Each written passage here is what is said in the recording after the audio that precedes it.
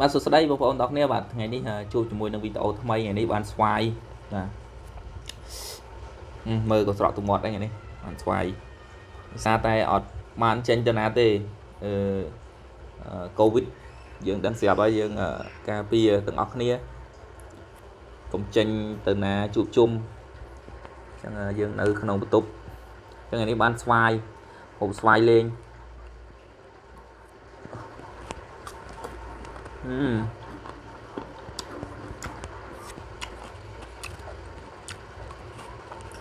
Nhanh.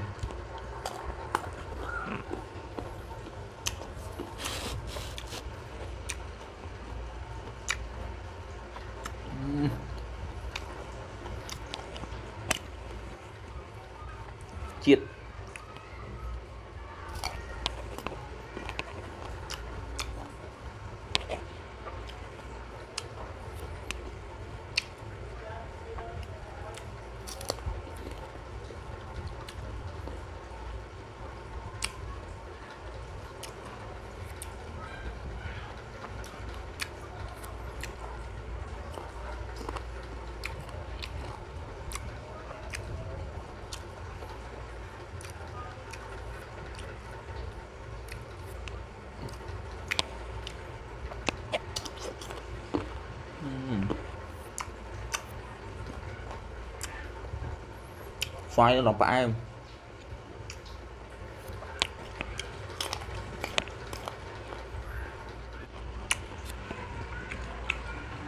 ផ្អែមស្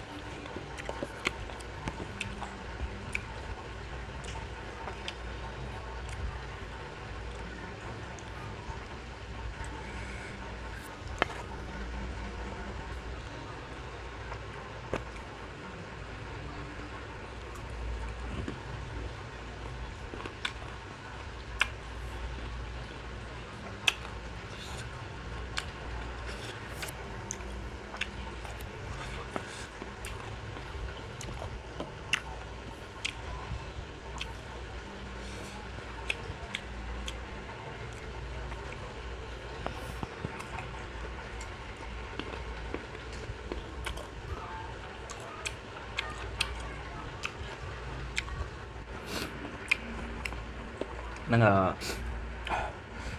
អំបិលម្ទេសជាមួយស្វាយអារម្មណ៍ថាឆ្ងាញ់